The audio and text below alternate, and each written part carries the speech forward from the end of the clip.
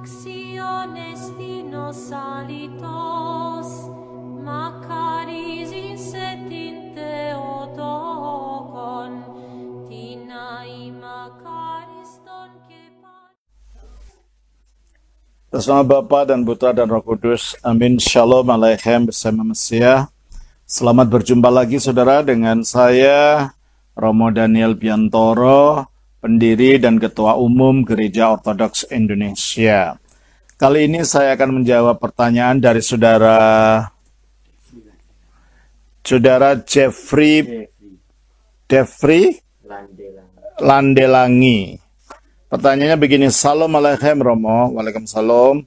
Mengapa dalam ayat ini orang dibaptis dalam nama Tuhan Yesus, bukan dalam nama Bapa, Anak, dan Roh Kudus? Kisah Rasul 2, 38, 8 dan 16, 10 dan 48, 11 ayat 5. Bukankah Tuhan Yesus menyuruh para muridnya untuk membaptis dalam nama Bapa, Anak, Roh Kudus? Matius 28 ayat yang ke-19. Mohon pencerahannya. Saudara Jeffrey, pertanyaan ini banyak sekali dipertanyakan oleh orang dan akhirnya ada orang yang untuk cari mudahnya mengambil kesimpulan yang salah. Sehingga mereka mengatakan dibaptiskan dalam nama Bapa, Anak, Roh Kudus, yaitu dalam nama Tuhan Yesus Kristus. Yang akhirnya menimbulkan teologi yang salah. Kalau Bapa, Putra, Roh Kudus yaitu Tuhan Yesus Kristus, berarti tertunggal itu ya Tuhan Yesus Kristus itu. Nah itulah akhirnya memuncul, memunculkan ajaran Yesus only. Bapa ya Yesus itu, Putra ya Yesus itu, Roh Kudus ya Yesus itu, pokoknya Allah yang Esa ya Yesus itu. Itu efeknya jadi ke sana. Nah, pertanyaannya adalah apakah memang ayat-ayat dalam kisah Rasul tadi itu berbicara tentang formula pembaptisan atau bukan? Nah, untuk itu, itu kita lihat di dalam terjemahan bahasa Indonesia dalam kisah Rasul pasal 2 ayat 38 begini. Di dalam kisah Rasul pasal 2 ayatnya yang ke-38 dikatakan begini. Dalam terjemahan bahasa Indonesia ya. Jawab Petrus kepada mereka, bertobatlah dan hendaklah kamu masing-masing memberi dirimu dibaptis dalam nama Yesus Kristus. Lalu kita baca di dalam kisah Rasul, pasalnya yang ke-8, ayat yang ke-16, di mana eh, dikatakan di sana begini. Kisah Rasul 8 ayat 16, Sebab Roh Kudus belum turun di atas seorang pun di antara mereka karena mereka hanya dibaptis dalam nama Tuhan Yesus. Lalu kita baca juga di dalam kisah Rasul pasal 19 ayatnya yang kelima. Di dalam kisah Rasul 19 ayatnya yang eh, ah, kisah Rasul 10 dulu maaf. Kisah Rasul 10 ayatnya yang ke-40 kita baca di sana eh, ke-48. Lalu yang menyuruh mereka dibaptis dalam nama Yesus Kristus. Dan terakhir kisah Rasul 19 ayat yang kelima. Ya. Kisah Rasul 19 ayat yang kelima dikatakan begini. Ketika mereka mendengar hal itu, mereka memberi diri mereka dibaptis dalam nama Tuhan Yesus. Jadi dalam keempat kasus yang ada dalam kisah Rasul ini, semuanya menggunakan kata dalam nama Tuhan Yesus. Seolah-olah bertentangan dengan perintah Tuhan Yesus di dalam Matius 28 ayat 18. Di dalam Matius 28 ayat 18 dikatakan begini, saudara-saudara, eh saudara Jeffrey, uh, Matius pasal yang ke-28 ayatnya yang ke-19 ya. 28 ayat 19 dikatakan karena itu pergilah jadikanlah semua bangsa muridku dan baptislah mereka dalam nama Bapa dan Anak dan Roh Kudus. Yang benar yang mana? Untuk mengetahui benar dan tidaknya, kita harus kembali kepada bahasa aslinya. Kalau dalam bahasa Indonesia, bahasa Indonesia semuanya menggunakan dalam nama, baik dalam nama Bapa, Anak, Roh Kudus maupun dalam nama Tuhan Yesus, semuanya menggunakan kata dalam nama. Mari kita lihat dalam bahasa aslinya apakah memang begitu, ya. Di dalam uh, Matius pasal yang ke-28 kita baca begini. Matius pasalnya yang ke-28 ayatnya yang ke-19 kita baca bunyinya demikian. Matius 28 ayatnya yang ke-19.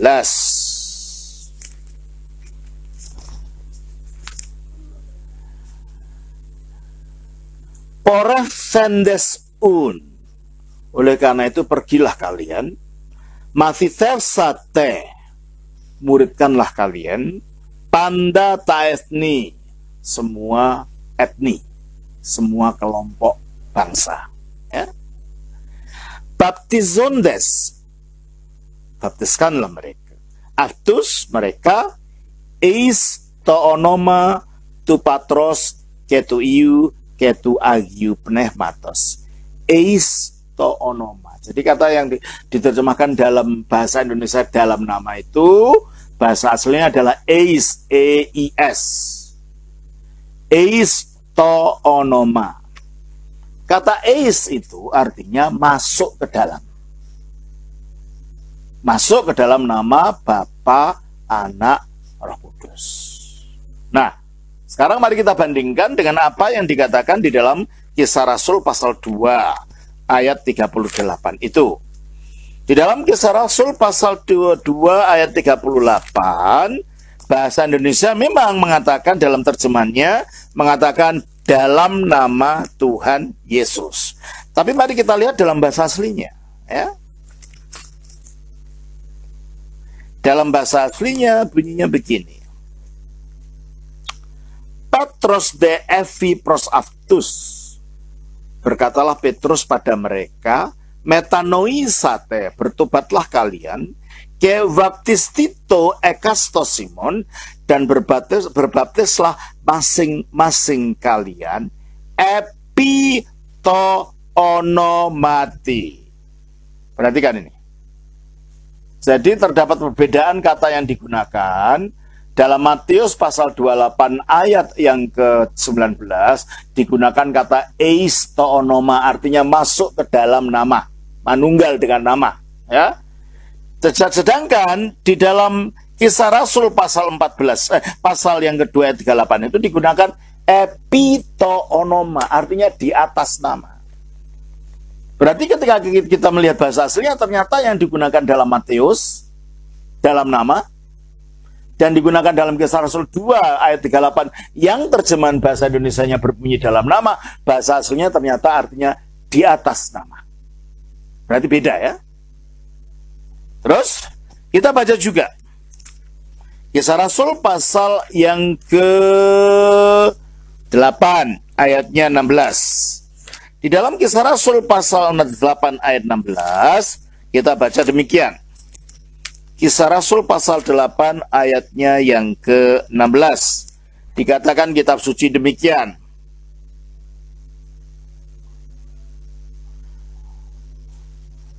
Monon the, the baptismeni ipirhun hanya saja mereka dibaptiskan is toonoma tu kiryu Yesu. Di sini dikatakan kata eis toonoma sama dengan Matius. Eis toonoma tu patros ketu iu ketu yaku penematos.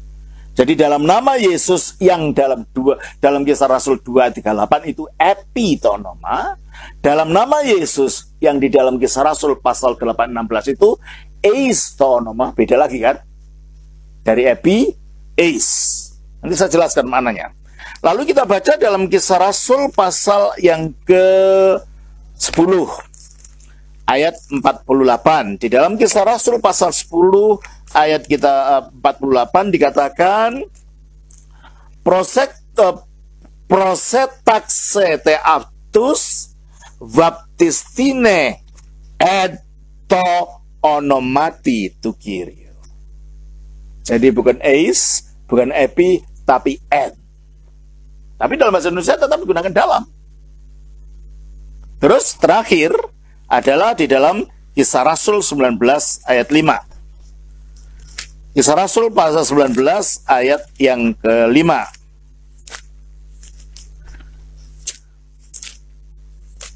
Kisah Rasul 19 ayat 5 dikatakan oleh kitab suci demikian. Aku sandes de evaptistisan is to onoma tu. Jadi di sini ada kata is to onoma sama dengan yang di dalam ayat yang keberapa tadi? Di dalam pasal yang ke ke-8 tadi mungkin ya. Eis. Jadi dalam kisah Rasul ada tiga penggunaan. Epi toonoma, eis toonoma, dua yang eis toonoma, dan en toonoma. Nah, sekarang kalau ini bunyi formula dalam bahasa aslinya, ketika orang-orang orang-orang Kristen purba itu menggunakan baptisan, mana yang mau diucapkan? Eistonoma kah? Epitonoma kah? Atau entonoma? Nggak mungkin diucapkan bareng-bareng gitu ya. Eistonoma, epitonoma, entonoma. Ini kata-kata yang berbeda. Berarti kalau gitu, kisah Rasul pas dalam ayat-ayat dalam kisah Rasul itu tidak menunjuk bunyi formula baptisan. Jadi tidak ada pertentangan antara ayat-ayat yang ada dalam kisah Rasul ini, empat ayat ini, dengan yang ada di dalam Matius pasal 28. Dan dari bukti sejarah ternyata formula yang dilakukan bukan estoonoma Yesus Kristus. Formula yang dilakukan adalah estoonoma tu patros, ketu iu, ketu agiu penehmatos. Dalam nama atau masuk ke dalam nama Bapa, Putra, Roh Kudus. Bagaimana kita tahu? Di dalam satu tulisan zaman purba dari abad yang pertama, ada tulisan namanya Didacheton Apostolon. Artinya pengajaran para rasul. Di situ disebutkan, baptiskanlah orang di dalam air yang mengalir. Dalam nama Bapa, Putra, dan Roh Kudus. Berarti dari bukti bukti catatan kesejarahan. Gereja purba formulanya menggunakan formula yang ada di dalam Injil Matius. Baptiskanlah mereka dalam nama Bapa, Putra, dan Roh Kudus dan sampai sekarang tetap dilanjutkan di dalam gereja ortodoks. Itulah formula. Nah dalam kisah Rasul itu bukan formula karena bisa bertentangan ngomong yang mana kalau mau formula. Eistonoma atau entonoma atau epitonoma. Epi artinya di atas nama, Eis artinya masuk ke dalam nama, N artinya di dalam nama. Jadi artinya berada N itu di dalam itu. Kalau Eis dari luar masuk ke dalam. Kalau Epi kalau ada gini di atasnya. Berarti kan itu membawa ide yang berbeda-beda dari empat ayat yang ada di dalam kisah Rasul tadi.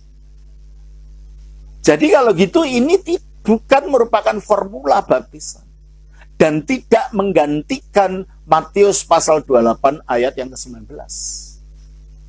Ini adalah penjelasan tentang baptisan.